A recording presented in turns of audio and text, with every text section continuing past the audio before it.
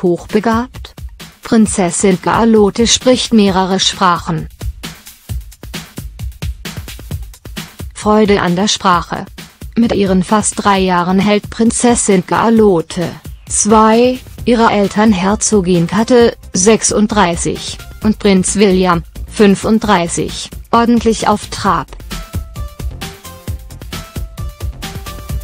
Die Zeiten im heimischen Nest sind mittlerweile aber vorbei. Seit gut einer Woche besucht die kleine Thronfolgerin den Kindergarten und kann den anderen Kindern dort einiges beibringen.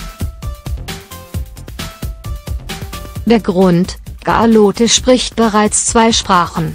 Ein Insider verriet gegenüber People, sie ist sehr süß und wirklich selbstbewusst sie plaudert gerne.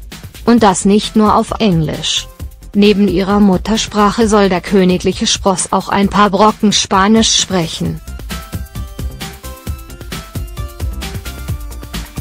Dafür gesorgt habe ihre spanische Nanny Maria Torion Boralo, mit der Galot natürlich sehr viel Zeit verbringt.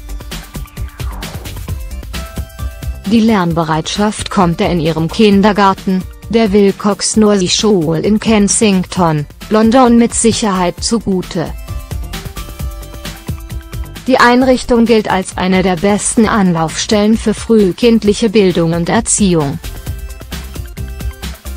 Die nächsten zwei Jahre wird sie dort lernen, wie man sich als benimmt, und wird gleichzeitig auf die Schule vorbereitet.